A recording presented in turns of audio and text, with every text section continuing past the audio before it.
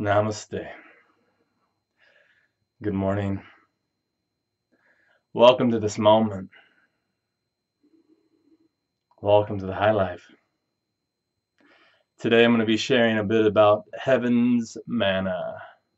This is a light, functional, and natural high that the avatar was meant to function in and with.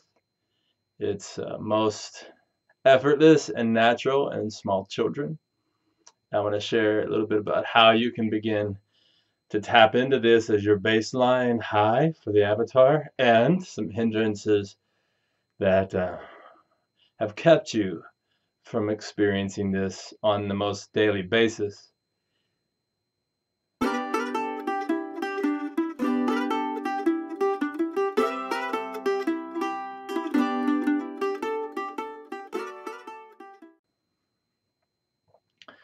The reason why most people aren't experiencing a natural high and they go in pursuit of a high uh, via alcohol or uh, you know other intoxicants drugs and whatever um, is because their brain has slowly stopped producing the amount of dopamine and anandamides and other cannabinoids or uh, neuroreceptors that um, translate a high to your body and mind.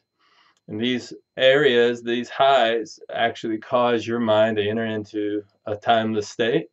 They um, help you enter into what we call flow state, where the body is just flowing effortlessly and naturally able to uh, be highly productive. Now, I know you might associate a high with anti-production or being uh, hindering your production at work or um, even sexually or whatever. But truth is, your natural high can heighten the experiences you're having and um, increase or expand the amount of production that the body is capable of. So what's happening is there's this cannabinoid receptor in your brain, this neuroreceptor, and uh, THC, the one of the primary compounds in marijuana, actually mimics anandamide, which uh, is natural to your brain and it mimics it and it comes in and it binds to those cannabinoid receptors that are responsible for time management or the feelings of this is where you get when you get a head high you get high you get kind of timeless. This is your normal state. You are not meant to live on a linear timeline. You are meant to live in the timeless mind. However you don't have to. Marijuana thc cbds all that stuff is actually i mean it can be beautiful. It's plant life. Kind of blows my mind that we've been as afraid of plants for so long, but that's for maybe another time.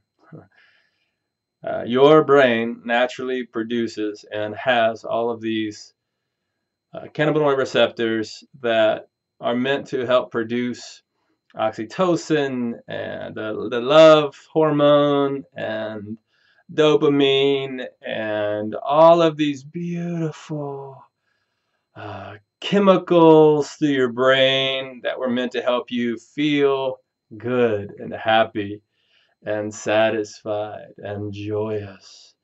And, uh, and so today I just want to talk to you about have what I call what I call heaven's manna. Heaven's manna is a baseline high that can really only be experienced perpetually as you program your subconscious to be more present. As long as the subconscious is projecting from past memories into a non-existent future. It won't be your baseline high. You'll still experience the ups and downs, but, but at the end of this video, I'm going to share with you how you can begin to uh, tap into heaven's manna. So, and it will actually help you. Uh, if you do practice this long enough, you'll actually not only experience the high that I'm talking about, but it'll actually help you uh, let go of anxiety and fear and depression and some of these other things that might have haunted you. Uh, so Heaven's Manna is a very uh, functional high, a very mellow high. It um, it feels uh, a light euphoric sense, a light head high, not a, a not a head high that um, keeps you from being mobile or being able to do things functional and it doesn't mess with your coordination a whole lot. I think when you first start experiencing Heaven's Manna, it'll mess with your coordination at first, but um, over after you experience it for a while, it will slow down and your coordination will be fine. And uh, it, it ends up becoming just a really nice mellow baseline high. You just feel good and it mellows you out, it calms you down. It's kind of like the reaction of CBD in your system. It really just brings a real feeling of health and wellness and goodness to your body and mind. It also is uh, super um, uh, good at bringing you into what I would call baseline flow state or a very uh, uh, timid flow state. Not timid, I don't know that's the right word for it, but a flow state in which you're able to focus more intently so it doesn't actually ruin your focus or hinder your focus. You're actually able to, if you're able to narrow in on one task, you're able to really focus in on that task and enjoy it and knock things out and really get narrowed in and it opens up a creative world to you so for artists and uh, movers of uh, life artists of all kinds this really opens up a creative state of consciousness. So let's just chat a little bit about um, i've been experiencing this for a long long time this baseline high and uh, again i call it heaven's manna because it comes it comes to you it can come to you every morning. When you moment you wake up you can begin to experience this. This is i started calling it heaven's manna because the moment i woke up i experienced this manna and it would just sustain me through the whole day. And there have really been no moments where i bitched and whined and complained like the israelites did in the desert some of you might understand that reference but um, but there are higher, there are uh, crazier highs and more experiences. I'll talk to you about it another time. But this Heaven's Manna is really a sustainable uh, experience, even for you if you just tap practice some of the practices I'm going to share with you in a minute. You'll begin to experience it, and this um, experience will be good for a couple of hours. You'll you'll experience a nice mellow high, functional high for several hours, and then you can just practice again and slip back in, experience more eventually, if you practice this enough, it becomes a sustainable, perpetual high. Your base, it can really become your baseline high.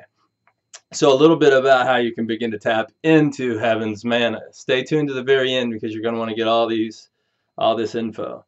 Start by closing your eyes and on every in breath, this is breathing exercise. On every in breath, I want you to bring your eyes up, focus your eyes kind of into your third eye uh, into that cerebral cortex or um, uh, yeah just right there into the not cross-eyed but into your forehead as you breathe in bring your eyes up into your forehead breathe in through your nose deeply and you're going to hold at the top of the breath and then you're going to relax your eyes and breathe out gently through your nose and hold at the bottom. Now the secret is as you breathe in feel the oxygen come in feel the air come in this Zoe, this life-giving force, come in up in through your brain where your eyes are focused and then in around circulating through your body and then back out into the world. So there's this nice flow in and out and it's so effortless. As you breathe in you'll one of the in this little mantra that I'm going to give you is key for you to begin to program your subconscious. Do this first thing in the morning. If you're going to do it at all, do it first thing in the morning and right when you before you go to sleep at night.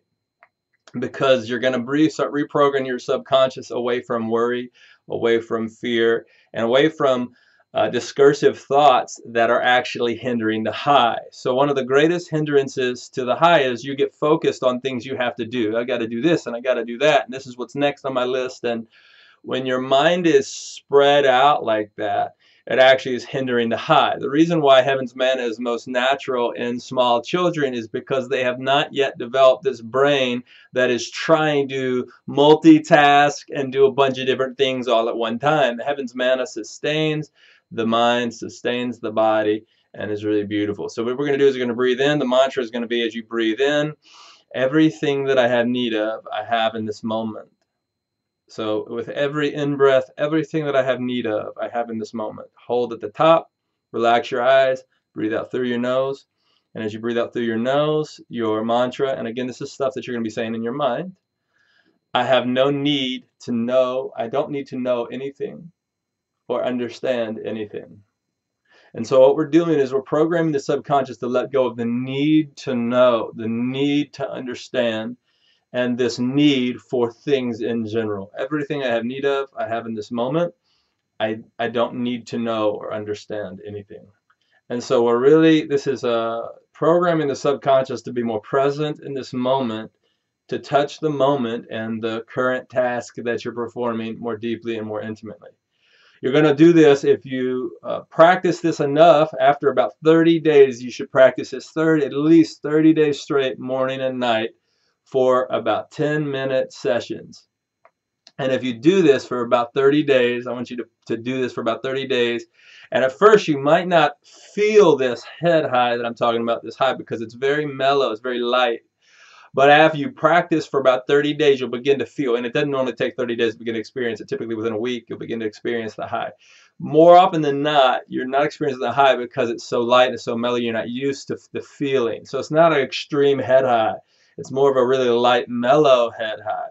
And it feels very wonderful and very euphoric, but it's light and it's good. It's not burdensome and it doesn't mess you up, okay?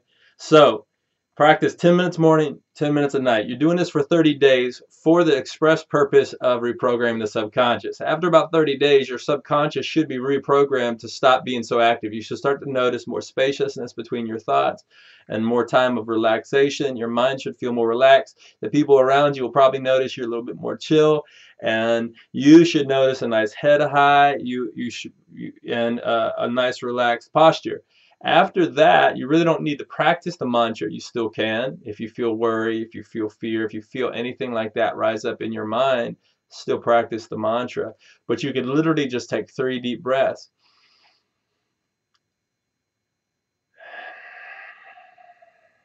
And you'll just practice Heaven's Manna with the, the, the deep breath if you're going through your day and at any point during your day you feel worried or you feel afraid or you feel like uh, stressed, stop, and take three deep breaths. Again, eyes up, hold, relax the eyes down, and you'll start to relax again. And the stress that you were feeling will start to dissipate. This is one of the huge key elements to beginning to reprogram or activate the avatar.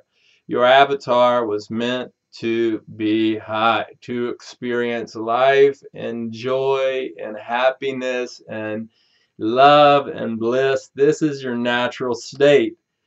You might have forgotten this natural state, or maybe you're experiencing kind of ups and downs. Some moments are high and happy, and other moments are sad and depressed and worried and fearful. That's not your natural state. That is the result of years and years of programming, cultural, societal uh, programming of your mind. And so I want to just reintroduce you and begin to activate this heaven's manna. The more that you touch it, will begin to start reactivating or activating your avatar to begin to touch the moment deeply and to enjoy life in general. I love you. Check out uh, the next daily trip video. I hope you have a beautiful day. Remember, the more you awaken, eh, the more you fucking play.